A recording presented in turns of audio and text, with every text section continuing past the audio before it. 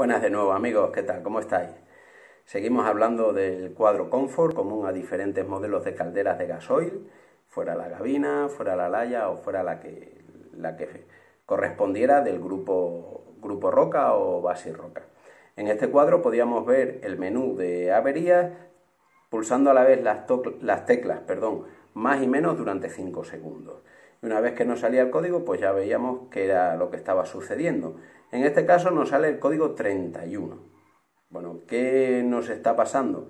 Pues que tenemos un problema en la sonda o un fallo en la sonda de ida, la impulsión o la ida de calefacción, por donde nos sale el agua más caliente. Bueno, ¿qué podía estar pasando? Bueno, el conector estuviera húmedo, estuviera mal la misma sonda, el cableado, todas estas cosas es bueno que las, las revisemos, ¿no? No es cambiar una sonda, ahora ponemos una sonda nueva y, el problema persiste. Bueno, pues ahora resulta que estamos siguiendo el cableado y está mal. Bueno, pues antes de nada, de sustituir, no tenemos que tener prisa en sustituir piezas o ser cambia piezas, sino ser buenos técnicos que sepamos cuál es realmente la avería. ¿Vale, amigos?